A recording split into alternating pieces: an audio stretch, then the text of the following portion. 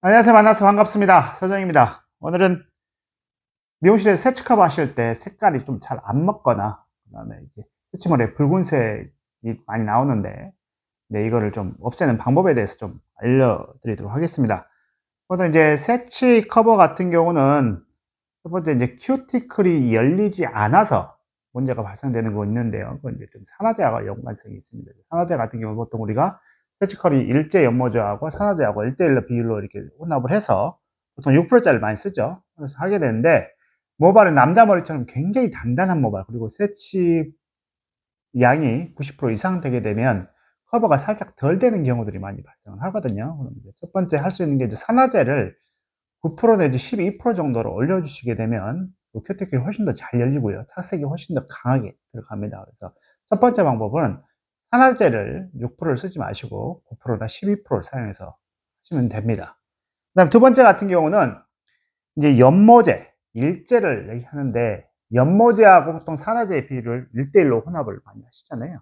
이렇게 그러니까 이제 실질적으로 색깔을 입혀주는 거는 일제가 하는 연모제가 하는 거기 때문에 이제 산화제의 비율을 1대1로 섞지 마시고요. 산화제의 비율을 한 10에서 20% 정도 올리시고 올리시면 돼요.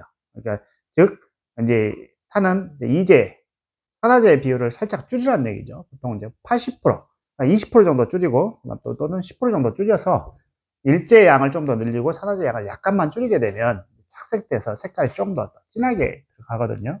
근데 왜 그러냐면 그 회사별로 이렇게 착색되는 잘 회사가 해서 잘 착색이 잘 되는 회사도 있지만 착색이 잘 되지 않는 회사도 있기 때문에 그 부분을 고려해서 산화제의 양, 일제의 이제 물량의 양을, 물약의 양을 좀 줄여주시게 되면 그게 해결할 수 있는 방법이 됩니다. 그래서 산화제, 연모제 컨트롤하는 방법을 알려드렸고요. 그 다음에 이제 붉게 나오는 방법 같은 게, 붉게 나오는 문제 같은 경우는 이제 보색 대비의 색깔을 가지고 이용을 하시면 됩니다. 이제 보통 이제 붉게 나온다는 것은 적색을 의미한다는 거거든요. 적색에 대비한 이제 녹색을 사용하시면 됩니다. 그래서 보통 이제 일제, 일제 그 이제 새치머리 커버용 전용을 사용하셔야 되고요. 보통 이제 5.0이나 그다음에 5.00이 보통 이제 새치머리 커버용.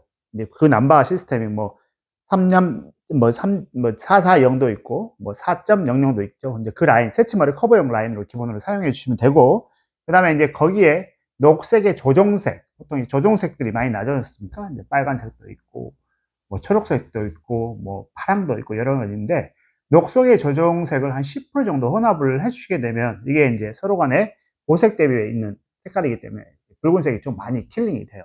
그 다음에 이제 최대 맥시멈 20%까지도 괜찮은데 20%가 넘게 되면 초록색이 많이 비치기 시작하거든요. 그래서 보통 이제 10%에서 20% 사이 정도 이제 한 여기 녹색을 집어 넣으시게 되면 붉게 나타나는 현상이 neutralizing이 돼서 서로 간에 이제 싸워서 중화시켜주는 그런 문제, 중화시켜줘서 붉게 나오는 현상이 굉장히 많이 줄어들기 때문에 세 가지 방법을 이용해서 새치머리가 커버가 잘 안 되거나 또는 붉게 나오는 것을 해결할 수 있습니다. 그래서 첫 번째 이제 산화제 컨트롤, 두 번째 염모제 컨트롤, 세 번째 조종색을 가지고 붉은 색상을 잡아주시게 되면 훨씬 더 완성도 높은 결과를 얻을 수 있기 때문에 꼭 세치 커버 하실 때는 이 점 유의하시고 잘 생각하셔서 이제 색깔을 색깔이나 이제 산화제 양이나 일제 양이나 이런 것도 조절해서 사용하시면 좋을 것 같아요.